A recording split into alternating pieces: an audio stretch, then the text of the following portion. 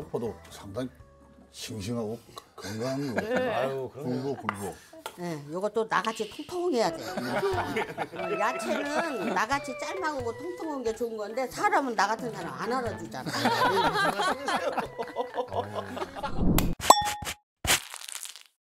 지금까지는 과정이 네. 두 단과 물 2리터와 네. 소금 컵으로 한 컵 반을 넣어서 컵 반, 예. 30분 정도 네네네. 예, 절임을 한 다음에 아, 근데 빨리 하려면 좀 더 넣고. 네. 소금, 소금을 좀 네. 넣치고. 그리고 지금 써셨어요. 누구나 다 할 수 있을 것 같아요. 지금까지는. 네. 그런데 이제 요거 갈아 놓고 제가 물을 만들어서 할게요. 네. 아, 이렇게 이제 이제 양념 재료 써시는 거죠? 예. 쪽파. 쪽파 뭐 한 2.5cm, 3cm. 네. 쪽파도 상당히 싱싱하고 건강한 거. 네. 아유, 굵고 굵고. 예, 요것도 나같이 통통해야 돼. 어, 야채는 나같이 짤막하고 통통한 게 좋은 건데 사람은 나 같은 사람 안 알아주잖아.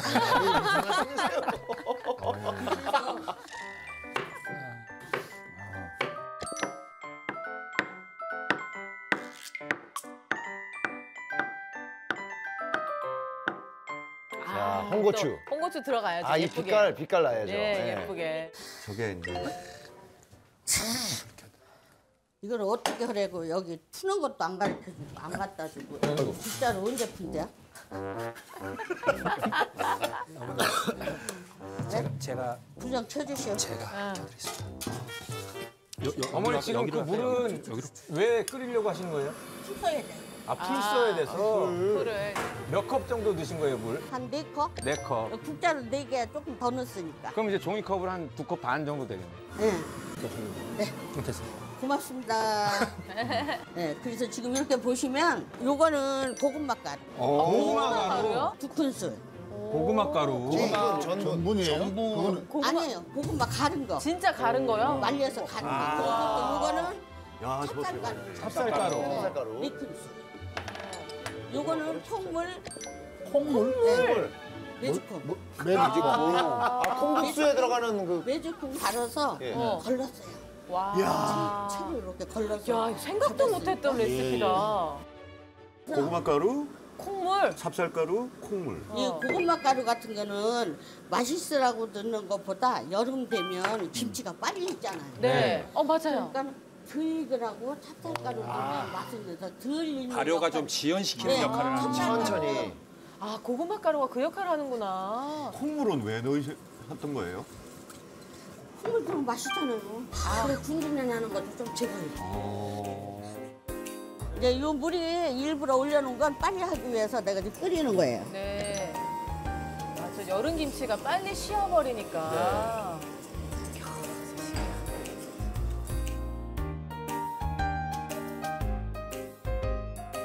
이렇게 해서 물김치 때니까는 요거를 바로 넣어도 되는데 아, 이제 폭김치 같은 그렇죠. 깍두기 같은 거는 뜨거운 물 넣으면 안 되잖아. 맞아요.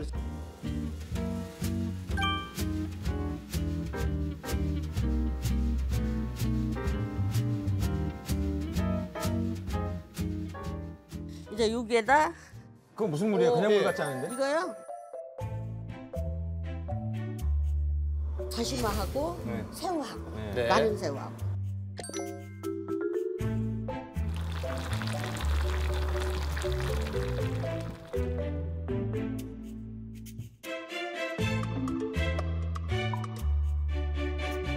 이런 노하우가 있으시구나. 네, 이렇게 해서 물을 붓고 할 거예요. 물이 많이 들어가는구나. 이제 여기에서 나는 이게 빡빡하게 먹고 싶어. 안 네. 그러면 국물이 많이 되고 싶어 하는 걸 물은 이제 자기 맘대로야. 예, 예. 그 선생님 지금 넣으신 정도는 국물 많은 물김치예요? 보통이요. 아, 보통. 네.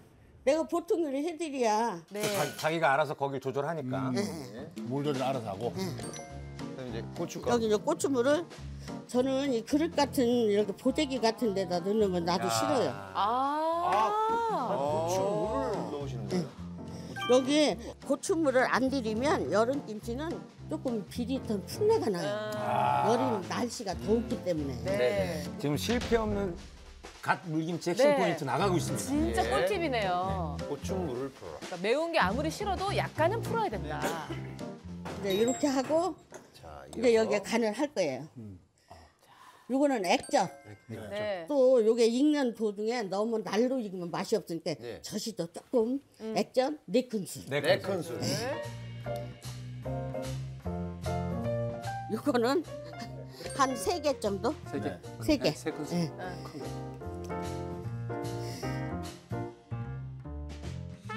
어머니는 대충 부으면은 그냥 네. 아, 요 정도면 돼. 그렇게 하는 거죠. 아 이거 집에서는 이거 언제 따져? 그냥 주먹으로 쿡쿡 넣고. 그죠, 그죠, 그죠. 그래도 맛만 있죠. 재료가 아까우니까 그릇도 다, 싹싹 예, 그 씻어서. 싹싹 씻어서 넣고 네. 계세요. 예. 아, 어, 어머님은 진짜 우리 엄마 모습 같다. 대충 넣으시고 마지막에 간을 보실 거예요. 아마. 거기서 이제 부족한 부분을 해서 워낙 많이 하시다 보니까 그 노하우가 계시는 거예요. 나간안볼 건데. 나간안볼 건데. 간 안 봐도 그냥 그냥 이미 마음속에 간이 돼 있는 거네. 아유, 딱 이렇게 보면 어. 한 한 큰술씩 내가 세 개만 넣을게요. 와. 딱 안 봐. 와. 아 작은 주먹 세 주먹 정도. 와 여기 뭐 별다른 양념도 없잖아요. 우리 엄마도 다 쓰는 양념. 네. 근데 특이하다면은 조금 수- 저희 풋내 같은 거 없애기 위해서 콩물하고 고구마가루 들어가는 것뿐이 없대요. 네. 그리고 이제 요거는 다른 건데 누수가도 아니고 설탕도 아니고 아무것도 아니야. 뭐냐? 뭐예요? 스테비아. 아. 스테비아. 아. 단맛이야, 단맛. 그래서 이제 그거 조금 조금 쬐끔 손으로 이렇게 찍어서 넣어도 돼. 어, 쬐끔쬐끔. 쬐끔만. 예. 요새 스테비아 토마토도 많이 나오잖아요. 맞아요 진짜 달아요. 네. 원래는 이제 예전에는 사카린 쓰셨거든요. 아. 사카린 많이 쓰셨는데 아. 사카린은 이제 합성 감미료. 네네네. 그러다 보니까 이게 약간 건강에도 문제가 있고 이러다 보니까 그 다음에 나온 게 뉴슈가라고. 아, 맞아요 맞아요, 맞아요. 그 사카린 한 5%에 나머지 95%를 포도당으로 채운 거죠. 아. 근데 이 스테비아는 감미료이기도 한데 원래는 그냥 식물 이름입니다. 아 그래요? 네, 남미 쪽에서 나는 스테비아라는 풀이 있는데 이 풀의 잎사귀에는 천연 감미료 성분이 포함되어 있는 거죠. 그리고 그것만 추, 추출해가지고 쓰는데 설탕보다 300배가 달아요. 와. 300배가 달아요. 네. 근데 칼로리는 설탕보다 100배가 낮은 거예요. 아. 근데 이제 다 됐어요. 우와. 다 때려 쳐넣었어. 너뭐 있어? 얼마나 쉬워. 근데 김치가 이게 아무리 쉽게 알려준다고 그래도 네. 안 접해본 사람들은 진짜 어려운 게 김치 잘 담그는 사람 모든 음식 다 잘해요. 솔직히. 아니 지금 선생님이 이렇게 레시피를 딱 말씀을 해주셨으니까 나도 할 수 있을 것 같은데 네. 이렇게 보지 않는 이상 사 먹어야 돼요. 만들 수 있는 방법이 없- 근데 맛을 알아야겠대요. 김치 맛. 맞아. 맛을 알아. 예. 음식을 해보니까 자꾸 간을 보잖아요. 내가 스스로 내한테 맞춰야 되는 거예요. 아 그럼요. 맞아요 맞아요.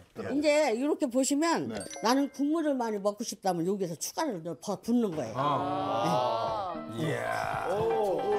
어머니 제 스타일입니다. 국물 넉넉하게 잡아가지고 네, 저는 국물 좋아합니다. 저도 좋아해요. 네.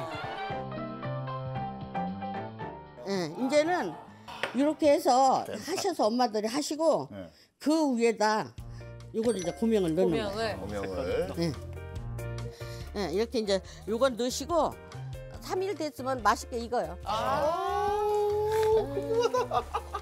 선생님 그거 다 되신 거예요? 예.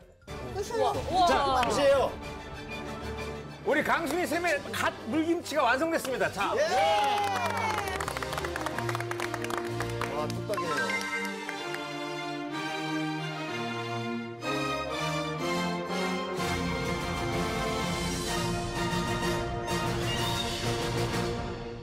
기운 없고 자꾸만 처지십니까? 아, 그럼 이제 쳐질 때 다 이제 돼가죠. 그런 계절이 왔죠 예, 이제. 예. 알토란 돼지고기 밥상 준비.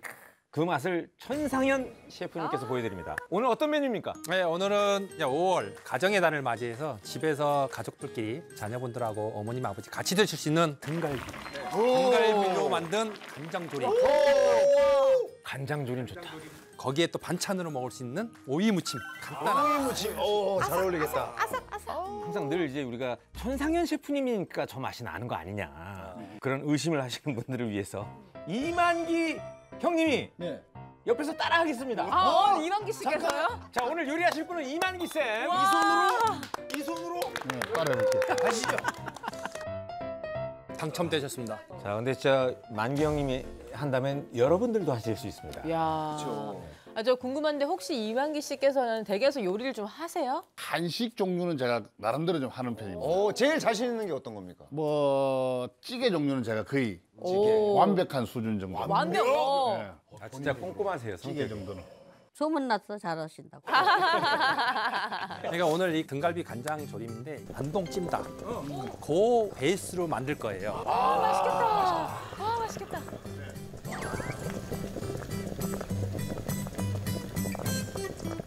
마트에 가면은 손쉽게 구할 수 있는 게 등갈비예요. 돼지고기 뭐. 그래서 요거를 30분 정도를 담궈놨잖아요. 요거는 이제 핏물을 빼기 위한 거예요. 찬물에 담궈놓으면 핏물은 빠지는 거고.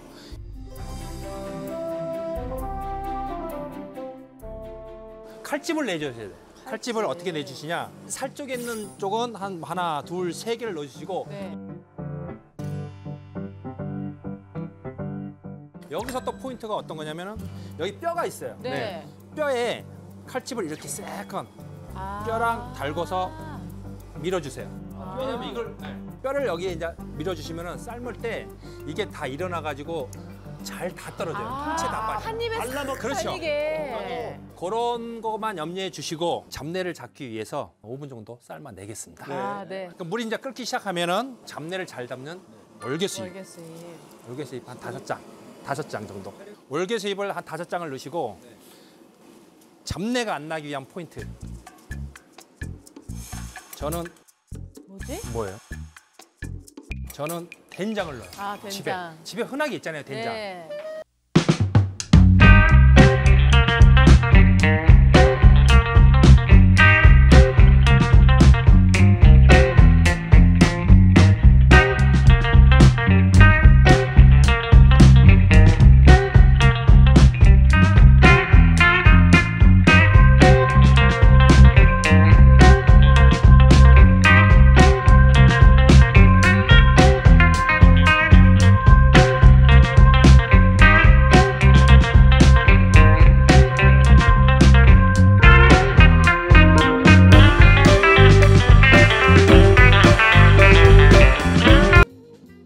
돼지가 갖고 있는 특유의 잡내가 있어요. 네. 그 부분을 여기서 일차적으으로 한번 잡아주는 거예요.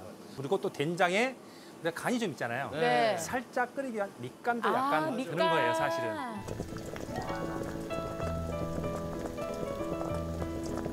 끓다 보면 이렇게 핏물이 뼈에서 자꾸 나와요. 네. 그럼 이게 나중에 응고가 돼요. 이 핏물 때문에 잡내가 나는 거예요. 아.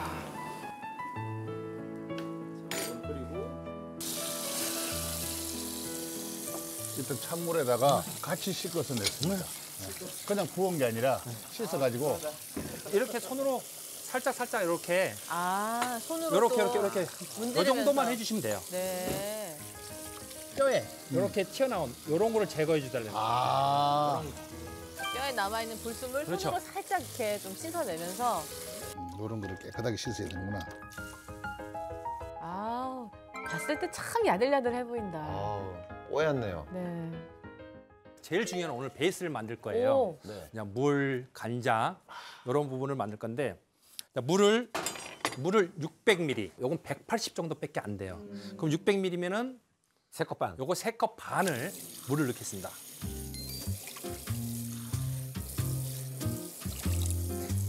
물에 맛술, 맛술은 80ml. 맛술을 80. 80, 맛술 80. 네.